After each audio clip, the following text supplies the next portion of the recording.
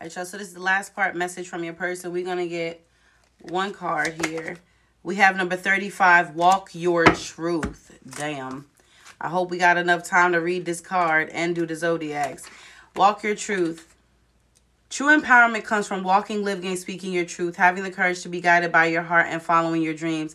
Don't be afraid to shine your magnificent light as a result of the opinions and judgment of others. Yes, you might be ridiculed, scorned, and your choices mocked with disapproval, but understand this, dear one. Others mock and criticize from a place of fear within them, a fear that keeps them trapped in a in a repetitious will of illusions. I'm sorry, in a repetitious wheel of illusions. I don't have my glasses on. By breaking free and walking the true path of your heart, you step up you step off the merry-go-round of cycling pain and leave the ones who scorn behind. Don't be surprised when others do everything and anything to discourage you from walking this path, this path of the heart. In time, those that ridiculed and judge you will be inspired by your courage and ability to stand strong. They will gravitate towards you like moths to a flame with hunger with hunger to know your secret. Your light will shine so bright that it will inspire others to find the courage within them to also follow their heart and true calling. By walking your truth, you connect to the highest powers of love and enter the amazing world of manifestation.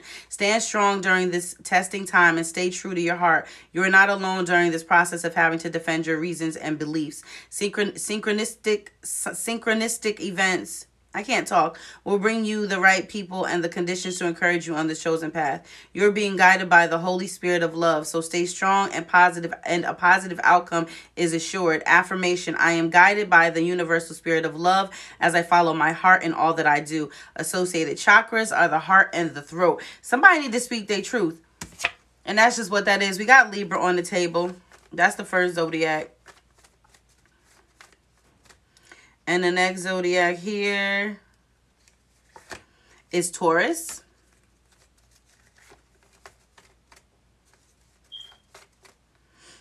And the next zodiac we have is Scorpio. And we have Capricorn.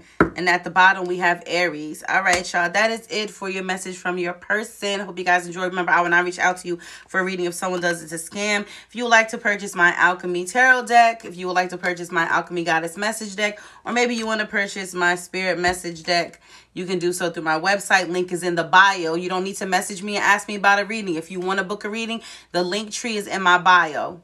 And you have my website, my YouTube, my Patreon, all of that in my bio. All right, remember, don't send nobody no money for no readings. It's a scam. Book through my bio website. Love you. Peace.